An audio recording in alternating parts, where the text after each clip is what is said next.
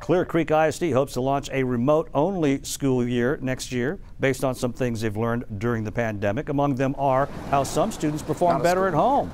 Jason Miles is live with the details. Hey, Jason. Hey there, Ron. Yeah, many students have uh, gotten used to sitting in front of a laptop like this this school year. Clear Creek ISD wants to make it a permanent option by opening a virtual only school. Physical campuses like this aren't going anywhere, but Clear Creek ISD's 48th school may be a virtual one. We really recognize that there's a group of students and families that this just meets their needs. Pending state approval, CCISD will open Clear Connections Virtual School for students pre K through 12th grade. It's an extension of the district's remote learning program put into place amid COVID 19. So, we're going to take a look at two of the features that are in this short article.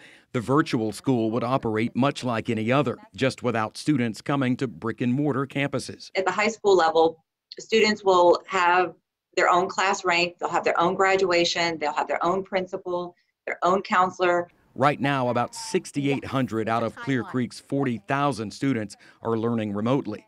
Those who may benefit from a virtual only environment next year include those with anxiety issues or developmental issues, or those who may be self driven or motivated enough to effectively engage. I have two screens um, for my laptop. Teachers like the one in this district produced video would likely instruct from actual classrooms in existing buildings like they currently do, which is definitely different from a traditional school experience, yet productive for some. We feel very optimistic that this opportunity will become available for students as early as next fall.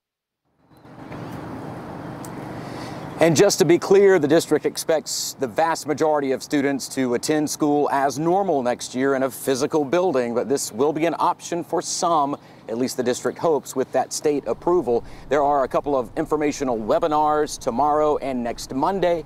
You can find out a lot more information by clicking the link to this story on khou.com. Ron?